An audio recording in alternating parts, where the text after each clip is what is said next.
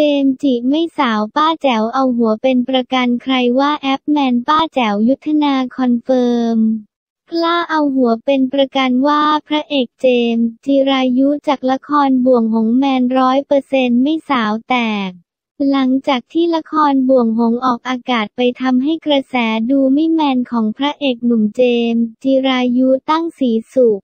กลับมาเป็นที่สนใจอีกครั้งหนึ่ง เนื่องจากในละครหนุ่มเจมส์ต้องแต่งตัวเนี้ยบหน้าผมดูเป๊ะ เลยทำให้ถูกวิจารณ์จากแฟนละครที่ดูไม่น้อย ว่ายิ่งแต่งตัวแบบนี้ ยิ่งตอกย้ำความไม่แมนของหนุ่มเจมส์มากขึ้นเข้าไปอีก แต่งานนี้ผู้จัดและผู้กำกับละครคนเก่งของเรื่อง บ่วงหงอย่างป้าแจ๋วยุทธนาลอพันธ์ไพบูลย์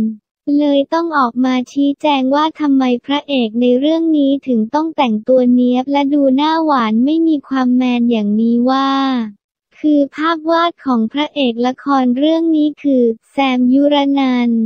เพราะว่าเขาอธิบายไว้ในบทว่าเป็นผู้ชายที่หน้าตาดีขนาดที่นางเอกคิดว่าเป็นเกย์คือหน้าสวยงามจากนั้น